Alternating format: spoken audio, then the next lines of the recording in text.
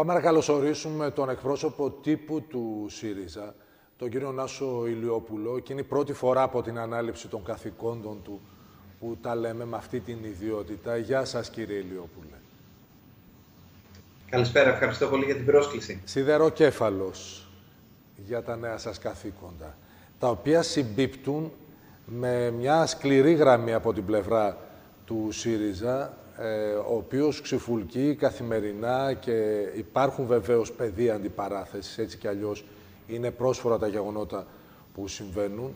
Ε, πάμε να δούμε τα τελευταία που έχουν να κάνουν με τα εθνικά μας θέματα, διότι εσείς ε, στην περίπτωση της ε, ρήξης της τελωνιακής σύνδεσης Ευρωπαϊκής Ένωσης Τουρκίας ήδη εκφράσατε με ανακοίνωσή σας διαφωνία και εξηγήστε μας τον λόγο. Κοιτάξτε, πρώτα Γιατί μιλάτε για μια μπαταριά, για μια κίνηση εντυπωσιασμού. Πάμε να δούμε την ουσία. Νομίζω, ότι θα, νομίζω ότι θα βοηθήσει να γυρίσουμε λίγες μέρες πίσω. Όταν μετά από την προτελευταία σύνοδο κορυφής η κυβέρνηση πανηγύριζε ότι πήρε αυτό το οποίο χρειαζόταν, εμείς είχαμε βγει ο ΣΥΡΙΖΑ και είχαμε πει ότι δυστυχώς η χώρα έφυγε χωρίς κυρώσεις και χωρίς κανέναν αυτοματοποιημένο μηχανισμό κυρώσεων. Και τονίζω το δυστυχώς γιατί πολύ γρήγορα επιβεβαιωθήκαμε ότι όντως αυτό δεν ήταν ένα πλαίσιο αποκλιμάκωσης. Επιβεβαιωθήκαμε γιατί πολύ γρήγορα η Τουρκία συνέχισε τις προκλήσεις με αποκορύφωμα αυτό το οποίο ζούμε αυτές τις μέρες με μια ανάπτυξη που έχει σπάσει το όριο των 12 μιλίων και προσεγγίζει πάρα πολύ δυστυχώς το Καστελόριζο. Εκείνη τη στιγμή ακριβώς ο ΣΥΡΙΖΑ έκανε μια συγκεκριμένη πρόταση. Η πρόταση που κάνει σήμερα ο Κυριάκος Μητσοτάκης είναι μια πρόταση η οποία δεν είναι ουσιαστική πρόταση κυρώσεων. Είναι μια πρόταση η οποία μπορεί να φέρει πλήγματα και στην ελληνική οικονομία και εμείς το ξαναλέμε ότι για να υπάρχει μια όντως στρατηγική διαλόγου με την ε, Τουρκία, χρειάζεται να έχεις δύο πράγματα. Μια θετική ευρωτουρκική ατζέντα, χρειάζεται να έχεις ένα πλαίσιο το οποίο θα πιέζει την Τουρκία να έρθει σε, σε, σε, σε μια συνεργασία με την υπόλοιπη Ευρωπαϊκή Ένωση και άρα να, να χαλαρώσει την προκλητικότητα και στο κομμάτι των ελληνοτουρκικών και χρειάζεται να έχεις και τις κυρώσεις. Τώρα ο Κυριάκος Μητσοτάκης επειδή έχει καταφέρει για δύο συνεχόμενες ε, συνεδριάσεις να μην περάσει αυτό το οποίο έπρεπε να περάσει με όρους ελληνοτουρκικής γραμμής, έρχεται σήμερα και πετάει αυτή την κίνηση εντυπωσιασμού. Μάλιστα. Τώρα, ε, επειδή εσείς βάλατε πολλά ζητήματα τον τελευταίο καιρό σε σχέση με τα ελληνοτουρκικά. Για παράδειγμα, ο ίδιος ο πρώην Πρωθυπουργός, ο κ. Τσίπρας, είπε ότι εμείς και το επαναλαμβάνετε και στη σημερινή σας ανακοίνωση, ε, να ασκήσουμε εμπράκτος, λέτε, τα κυριαρχικά μας δικαιώματα αρχικά, νοτίως και ανατολικά της Κρήτης και να πάμε στη συνέχεια και στην περιοχή από Ρόδο μέχρι Καστελόριζο, Κάρπαθο, Κάσο, Καστελόριζο, στο σύμπλεγμα των νησιών του Καστελόριζου. Είναι η ιδανική στιγμή για κάτι τέτοιο. Το λέω γιατί μόλις πριν λίγο και θέλω το σχολείο σας και από αυτού, ανακοινώθηκε η Συμφωνία Ελλάδας-Αλβανίας να παραπέμψουμε τον ορισμό των θαλασσίων ζωνών στη Χάγη. Θα μου επιτρέψετε να μην σχολιάσω την τελευταία είδηση με την έννοια ότι περιμένουμε και εμείς να ενημερωθούμε ακριβώς για το για τις λεπτομέρειες. Μάλιστα. Ακριβώς, ακριβώς. Και, και κατανοείτε και εσείς ότι ειδικά σε τέτοια Βεβαίως. ζητήματα εξωτερικής πολιτικής η λεπτομέρεια έχει πάρα πολύ μεγάλη ε, σημασία. Αλλά πολύ γρήγορα μέσα στη μέρα θα υπάρχουν σχετικές ανακοινώσεις και από τον κύριο Κατρούγκαλο που είναι αρμόδιος για τα συγκεκριμένα ζητήματα. Ε, να μείνω όμως στο, στο εξής ε, η κίνηση, η ανακοίνωση που πρότεινε ο πρόεδρος του ΣΥΡΙΖΑ Προοδευτική Συμμαχία για τα 12 μίλια στην, στην Κρήτη είναι προφανώς μια κίνηση ε, αυξημένης βαρύτητας. Μια διπλωματική κίνηση αυξημένης βαρύτητας. Γιατί επιμένουμε και πιστεύουμε ότι αυτή τη στιγμή το εργαλείο και το όπλο της Ελλάδας είναι η διπλωματία, το διεθνές δίκαιο και ο διάλογος.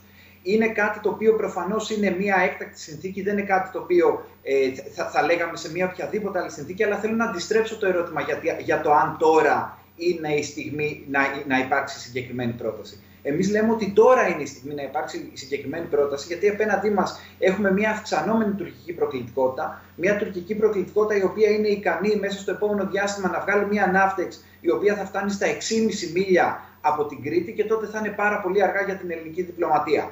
Επιμένουμε σταθερά και νομίζω ότι είναι κέρδος για τη χώρα ότι ο ΣΥΡΙΖΑ δεν κάνει εύκολη πολιτική αντιπολίτευση, δεν θα βγει κανένας βουλευτής του ΣΥΡΙΖΑ, όπως είχαμε ακούσει από βουλευτές της Νέας Δημοκρατίας, να πούμε εμπιστευόμαστε τον Ερντογάν και όχι τον Έλληνα Πρωθυπουργό. Και το λέω αυτό γιατί δυστυχώς το, το προηγούμενο διάστημα είχαμε ακούσει ακόμα και τέτοιες δηλώσεις. Επιμένουμε στην, στη διπλωματία, στη λύση, στο διάλογο και στην αποκλιμάκωση με ορίζοντα το διεθνές δίκαιο. Αλλά σε αυτό το διάλογο σε αυτή την ε, ε, διπλωματική στρατηγική η Ελλάδα πρέπει να έχει κάποια εργαλεία και κάποια όπλα για να μπορέσει να υπερασπιστεί και τα κυριαρχικά της δικαιώματα. Μάλιστα. Τώρα, εσείς νιώθετε ότι έχουμε μια παθητική στάση απέναντι στην πρόκληση της Τουρκίας που ξεδιπλώνεται πολύ καιρό τώρα; Θα έλεγα ότι επί της αρχής δεν, δεν υπάρχει στρατηγική. Να σας δώσω ένα χαρακτηριστικό παράδειγμα. Όταν πέρσι μετά τη Συμφωνία των Πρεσπών, που μικρή παρένθεση εδώ, η Συμφωνία των Πρεσπών αποτέλεσε μια σημαντική διπλωματική ήττα του Ερντογάν και θέλω να απευθυνθώ με αυτή την ευκαιρία σε έναν συντηρητικό ας πούμε, τηλεθεατή που τώρα μπορεί να μας παρακολουθεί, σε κάποιο τηλεθεατή που καλοπροαίρετα μπορεί να έχει ενστάσεις και διαφωνίες για τη Συμφωνία των Πρεσπών και να απευθύνει ένα απλό ερώτημα. Είναι καλύτερα αυτή τη στιγμή μέσω της ελληνοτουρκικής κρίσης το γεγονός ότι στα βόρειά μας σύνορα έχουμε μια συμμαχική χώρα όπου ο στρατός της συνεννοείται με τον ελληνικό στρατό, ή θα ήταν καλύτερα να έχουμε μια χώρα όπου ο στρατός της θα ήταν σε συνεννόηση με τον τουρκικό στρατό; Και θέλω να αφήσω αυτό το ερώτημα εδώ. Να προχωρήσουμε όμως. Όταν εκείνη τη στιγμή ο ΣΥΡΙΖΑ είχε μιλήσει για επέκταση η κυβέρνηση τότε είχε μιλήσει για επέκταση των 12 ε, ναυτικών μιλίων στα νησιά του Ιωνίου. Θυμόμαστε όλη την, αντιπο... την κριτική από την μεριά της Νέας Δημοκρατίας ως αντιπολίτευση ότι αυτή η επιλογή θα ήταν καταστροφική. Αυτό που πέρσι ήταν καταστροφικό, πολύ γρήγορα έγινε ευλογία για τον τόπο, ακριβώς μόνο και μόνο επειδή το έκανε η Νέα Δημοκρατία. Η Νέα Δημοκρατία όλο το προηγούμενο διάστημα είχε αρνηθεί να προχωρήσει τις κυρώσεις. Ενώ υπήρχε απόφαση στην ε, Σύνοδο Κορυφής της Ευρωπαϊκής Ένωσης με κυβέρνηση ΣΥΡΙΖΑ για κυρώσεις, Ήδη από το Δεκέμβριο του 19 ο Κυριάκος Μητσοτάκης έλεγε ότι η στρατηγική μας δεν είναι κυρώσεις. Ποια ήταν η στρατηγική του Κυριάκου Μητσοτάκη, ήταν του προβλέψιμου συμμάχου των ΗΠΑ, όπως ο ίδιος χαρακτηριστικά είχε πει όταν είχε κάνει το ταξίδι ε, στις ΗΠΑ και είχε συναντηθεί με τον πρόεδρο Τραμπ. Αυτή η πολιτική του προβλέψιμου συμμάχου, αυτή η πολιτική να μην έχεις ενεργητική ε, κατεύθυνση και στο διάλογο και στις κυρώσεις, ξεκάθαρα έχει, έχει αποτύχει και γι' αυτό βρισκόμαστε σήμερα εδώ που βρισκόμαστε Ξαναλέω δυστυχώς για τη χώρα, όχι για την κυβέρνηση, για το ΣΥΡΙΖΑ. Εσείς μιλάτε, φαντάζομαι, για έλλειψη στρατηγικής σε διπλωματικό πεδίο. Το λέω γιατί ακούμε κάποιες φωνές, δεν είναι κυρίαρχες, στην ελληνική πολιτική ζωή, ότι θα μπορούσαμε να έχουμε ανοίξει και πυρ. Ότι θα μπορούσε η χώρα τώρα να είναι μπλεγμένη σε έναν πόλεμο. Ε, ή, εν πάση περιπτώσει, αν δεν μιλούμε για μιας ευρείας κλίμακας πόλεμο, ε, να έχουμε μια εμπλοκή. Δεν μιλάτε για μια τέτοια στρατηγική. Ξεκάθαρα, ο, ξαναλέω, ο ΣΥΡΙΖΑ ποτέ δεν έκανε αντιπολίτευση με περκεφαλές, ποτέ δεν έκανε αντιπολίτευση πατριδοκαπηλείας και ούτε θα το κάνει και τώρα. Η πολιτική κατεύθυνση που πρέπει να έχει η χώρα είναι πολιτική κατεύθυνση διαλόγου, αποκλιμάκωσης και εμπιστοσύνη στο διεθνές δίκαιο.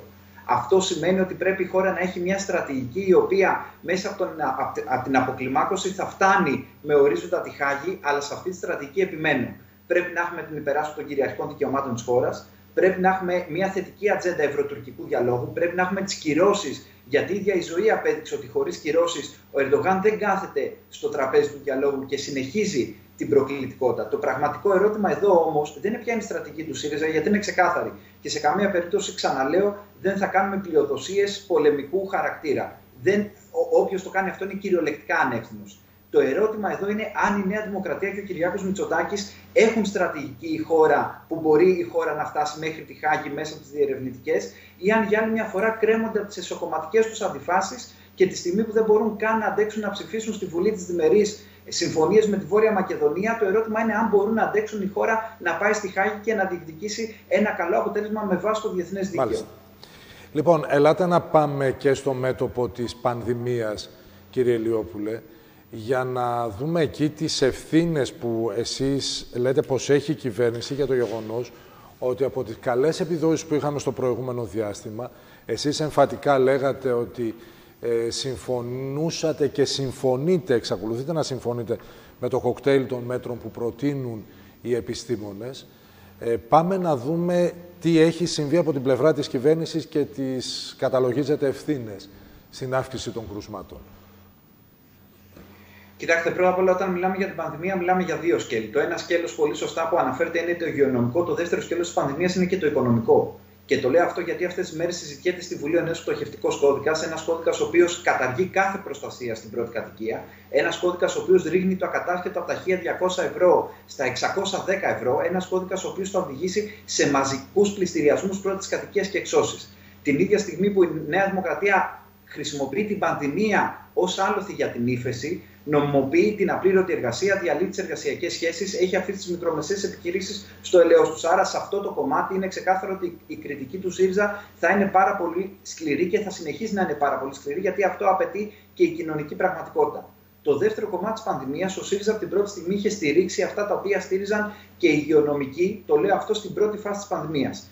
Πλέον υπάρχουν πολλά ερωτηματικά για τον τρόπο με τον οποίο λειτουργεί και η ίδια η Επιτροπή. Και το λέω αυτό γιατί εμείς έχουμε ζητήσει τα πρακτικά, παραδείγματος χάρη, ποια ήταν η άποψη των ειδικών σε σχέση ε, με το άνοιγμα των σχολείων. Και το λέω αυτό γιατί έχουμε ακούσει δυστυχώς τον κύριο Μαγιορκίνη, ο οποίος εμφανίζεται ως εκπρόσωπος της Επιτροπής από τη μεριά του Υπουργείου, να έχει υπερασπιστεί ότι μία τάξη είναι καλύτερη να ανοίγει με 25 παιδιά από το να ανοίγει με 15 παιδιά. Αυτό είναι κάτι το οποίο γκρεμεί στην εμπιστοσύνη και των πολιτών απέναντι στους επιστήμονες. Τώρα, συγκεκριμένα πάντως, στο πάντως η κυβέρνηση και οι επιστήμονες, για να μην πάμε στην, στο πολιτικό προσωπικό, έχουν επικαλεστεί τις περιπτώσεις πάρα πολλών ευρωπαϊκών χωρών που έχουν πολύ καλύτερους πολλούς δείκτες στην υγεία, στην παιδεία, στην οικονομία, που επίσης οι τάξεις έχουν 25 παιδιά. Μιλούν για τη Γαλλία, για την Ελβετία, για την Αυστρία, για πολλές ευρωπαϊκές χώρες. Δεν ξέρω γιατί επιμένουμε τόσο πολύ στον αριθμό μαθητών ανατάξει.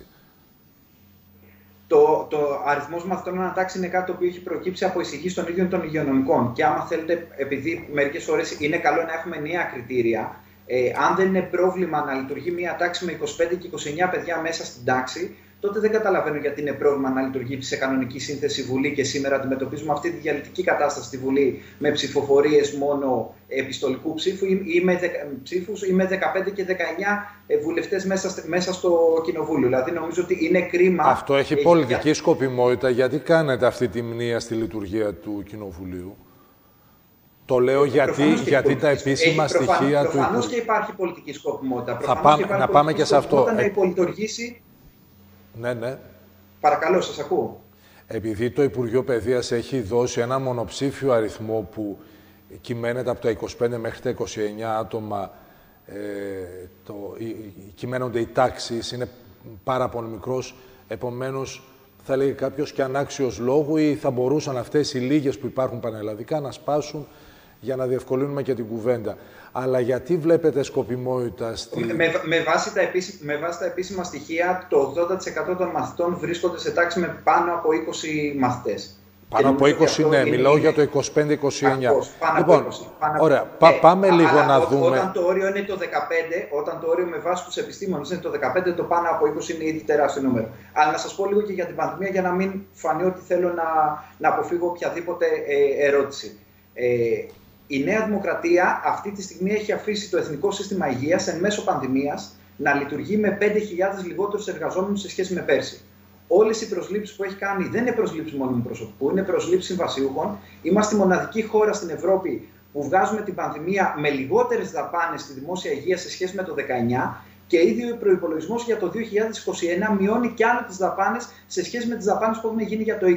Η Νέα Δημοκρατία ξεκάθαρα δείχνει ότι δεν πιστεύει στο δημόσιο σύστημα υγείας. Άλλωστε, θυμόμαστε προεκλογικά τον Κυριάκο Μητσοτάκη να λέει ότι πλεονάζουν οι γιατροί στο εθνικό σύστημα υγείας. Θυμόμαστε τον κύριο Πέτσα τέλη Σεπτέμβρη, δηλαδή ενώ βρισκόμαστε πια μέσα στο δεύτερο κύμα, να δηλώνει ότι αν είχε ακούσει η κυβέρνηση τον ΣΥΡΙΖΑ για τις ΜΕΘ, θα είχε πετάξει δεκάδες εκατομμύρια. Και αυτή τη στιγμή που η κυβέρνηση βγαίνει και λέει ότι έχει χίλιες και θα πάει τις ΜΕΘ στι 1100, η κατάσταση είναι με σχεδόν 100 διασωληνωμένου.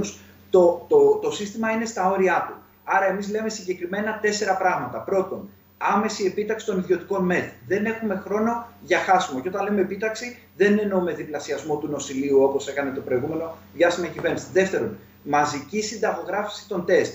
Ειδικά για τα σχολεία που αναφερθήκαμε και πριν, γνωρίζετε πολύ καλά ότι αν σε ένα σχολείο υπάρξει κρούσμα είτε εκπαιδευτικού είτε μαθητή, τα τεστ πληρώνονται από τους πολίτες, πληρώνονται από τη τσέπη των εκπαιδευτικών ή από την τσέπη της οικογένειας. Δεν μπορεί μια οικογένεια να αντέξει μέσα στη χρονιά να πληρώσει 5 και 10 και 15 τεστ κάθε φορά που ένα παιδί σε ένα τμήμα θα αρρωσταίνει και θα εμφανίζει πυρετό. Η οικογένεια να πληρώνει από τον οικογενειακό προπολογισμό το τεστ. Και πάρα πολύ κρίσιμο η εμπλοκή της πρωτοβάθμιας υγείας και άμεσες μόνιμες προσλήψεις στο Εθνικό Σύστημα Υγείας. Λοιπόν, Ελλάδα στα 2-3 λεπτά που έχουμε, 2 λεπτά έχουμε να δούμε, γιατί σήμερα είχαμε μεγάλη ένταση στη Βουλή, για τον πτωχευτικό κώδικα μίλησε και ο ίδιος ο κύριος ε, Τσίπρας, ο οποίος ε, είπε ότι για πρώτη φορά βλέπουμε να πτωχεύουν και τα φυσικά πρόσωπα. Μέχρι τώρα ξέραμε για κράτη, για επιχειρήσεις. Τώρα βλέπουμε τι είναι, τι αλλαγές, να, να πλουστεύσουμε λίγο την φιλοσοφία αυτού του πτωχευτικού δικαίου για να το καταλάβουν και οι τηλεθεατές μας γιατί επιτίθεστε στην κυβέρνηση για, στη συζήτηση που γίνεται στη Βουλή αυτή την ώρα. Πολύ απλά και πολύ γρήγορα. Αυτή τη στιγμή η κυβέρνηση θα αντιμετωπίζει το σύνολο της κοινωνίας σαν να είναι στρατηγικοί κακοπληρωτές. Σταματάει να υπάρχει οποιοδήποτε πλαίσιο προστασίας της πρώτης κατοικίας. Τα φυσικά πρόσωπα πτωχεύουν, δηλαδή ρευστοποιείται το σύνολο της περιουσίας τους και όχι μόνο ρευστοποιείται το σύνολο της περιουσίας τους, αλλά για τα επόμενα τρία χρόνια είναι σαν να είναι σε μια οικονομική φυλακή. Τι σημαίνει αυτό, Ότι το ακατάσχετο, αν κάποιος είναι εργαζόμενος ή συνταξιούχος, από εκεί που ήταν 1.200 ευρώ, ακόμα και αν έχει χάσει το σπίτι του, έχει χάσει το σύνολο των περιουσιακών του στοιχείων, για τα επόμενα τρία χρόνια οι τράπεζες θα του παίρνουν οτιδήποτε ξεπερνάει τα 610 ευρώ. Αυτό είναι το πρώτο μεγάλο ζήτημα. Το δεύτερο μεγάλο ζήτημα είναι ότι ακόμα και για τους ευάλωτους, δηλαδή όσους έχουν ετήσιο εισόδημα 7.000 ευρώ, γιατί έτσι ορίζει το νομοσχέδιο του ευάλωτους, χάνεις το σπίτι σου, έχεις το δικαίωμα για 12 χρόνια να μένεις αυτό με το να τον νοικιάζεις. Αν δεν μπορέσεις να πληρώσεις τρία νίκια, σε πετάνε έξω και μετά από 12 χρόνια μπορείς να ξαναγοράσεις το σπίτι, αλλά στην κανονική εμπορική αξία. Δηλαδή για 12 χρόνια τα νίκια που έχεις πληρώσει ή αυτά τα οποία είχες δώσει από πριν ε, στο δάνειο έχουν πάει εντελώς σε ένα πηγάδι δίχως πάτο. Άρα μιλάμε για, για ένα νομοσχέδιο το οποίο, όπως είπα και πριν, θα οδηγήσει σε μαζικές εξώσεις. Ένα νομοσχέδιο το οποίο δεν αντιλαμβάνεται ότι αυτή τη στιγμή γεννιούνται κόκκινα δάνεια, γιατί αντικειμενικά ο κορονοϊός έχει οδηγήσει την οικονομία, τα νοικοκυριά και τους μικρομεσαίους σε αυτό το αδιέξοδο. Ένα νομοσχέδιο το οποίο δυστυχώς κάνει μια οικονομική φυλακή για αυτό που ονομάζεται μεσαία τάξη στη χώρα. Ευχαριστούμε θερμά, κύριε Ηλιόπουλε. Είστε επανειδήν. Εγώ ευχαριστώ και ελπίζω να τα πούμε και από κοντά. Να είστε καλά. Σας ευχαριστούμε.